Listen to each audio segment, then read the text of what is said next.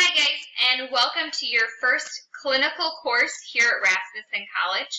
My name is Corissa Legg, and I will be your lab instructor or online, I'm not, sorry, on-campus instructor uh, for the next 11 weeks. We will meet twice a week on Tuesdays and Thursdays from 8 a.m. till 11.50.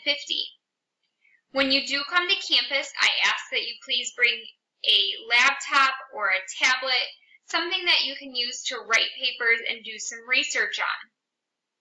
I would also ask that if you have it, please bring a record of all of the immunizations you've had, preferably those that have the hepatitis B, the MMR and varicella, a Tdap, and your, I think that's it, just those three, four, sorry. Those will be very important as we head into your clinical courses here, especially this first quarter. You need to have those. If you don't have them, that's okay. I would suggest working on them or we can actually, we'll actually be discussing this on day one. As you come into your clinical courses, if you do have your scrubs, please make sure that you are in the appropriate Rasmussen blue scrubs. If you do not have them, please shoot me an email through Blackboard and let me know that, uh, just so I have an idea kind of heading into class who will and won't have their scrubs on. Also, um, I would like if you guys would head on over to your student lounge section.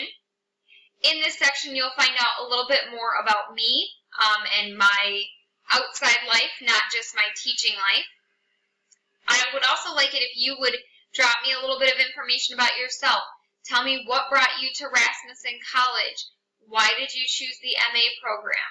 Uh, what are your biggest inspirations or what is inspiring you to go to school? All of those things are things I like to know kind of up front.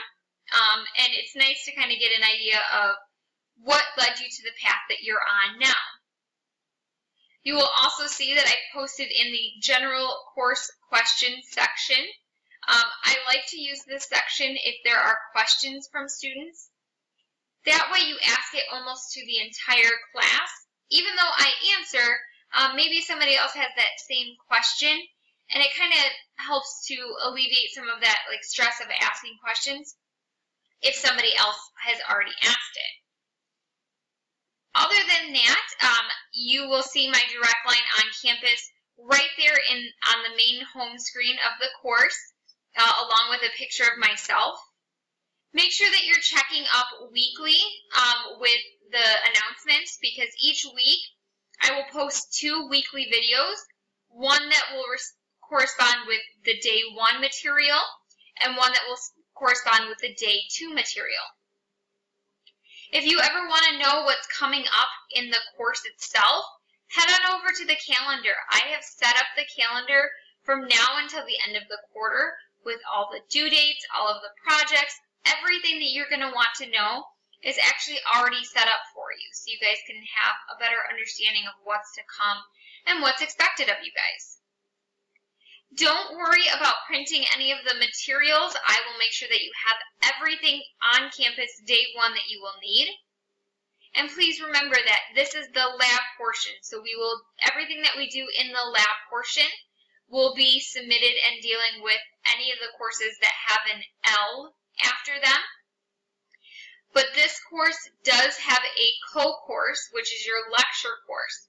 So you'll see one that's titled MEA 1350 and one that is titled MEA 1350L.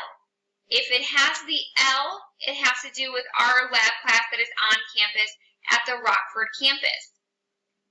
Please meet me there um, Tuesday morning at 8 a.m. We will meet in room 300, which is on the third floor of the Rockford campus.